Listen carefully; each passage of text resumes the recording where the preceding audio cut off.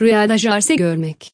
Molla Cami, rüyada jarse gösterişe düşkün ve iki yüzlü bir arkadaşı veya beklenmedik bir ihanete işaret eder.